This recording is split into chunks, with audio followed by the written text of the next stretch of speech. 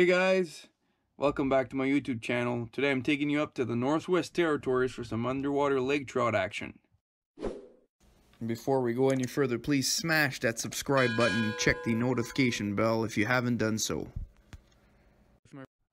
Now the footage you're about to see was filmed early season and uh, it was mostly shallow trolling spoons over sand and uh, we used a water wolf camera which is uh, fixed on your line and it films your lure when, when it's going through the water.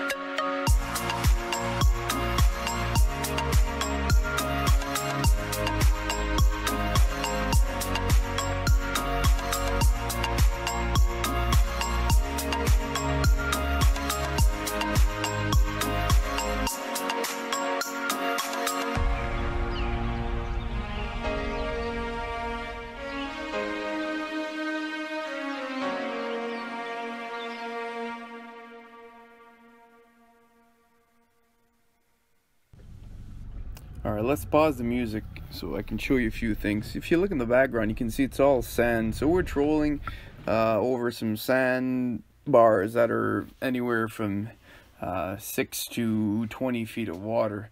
The reason why we picked this spot is mostly because uh, with sand, you the risks of getting snagged or losing that $300 camera are pretty low. So that's why we picked that spot. And um, when the ice goes out, uh, lakers are shallow. Well, there's one laker that just hit the camera, and they do that often, and uh, you can see pretty good details, the throat and the inside of the mouth, so it's pretty cool. Anyways, um, we picked that spot because when the ice goes out, uh, the sand warms up quickly, and uh, these lake trout are just sunbathing on on the sand, so that's where we uh, we like to go.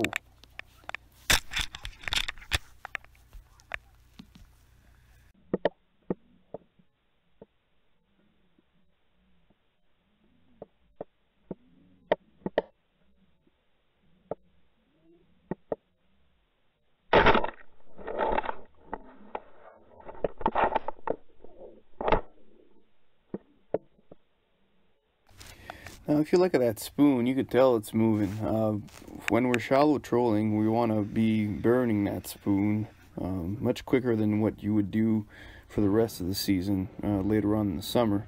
So uh, I like to troll between uh, three to six kilometers an hour, and obviously you don't want to be uh, ho holding it at six kilometers an hour, but you you could vary the speed quite a bit. You want to let it drop. You want to do some quick turns, uh, change directions. That's that really uh, entices the fish and uh, gets them to commit. Really, is what you want to do.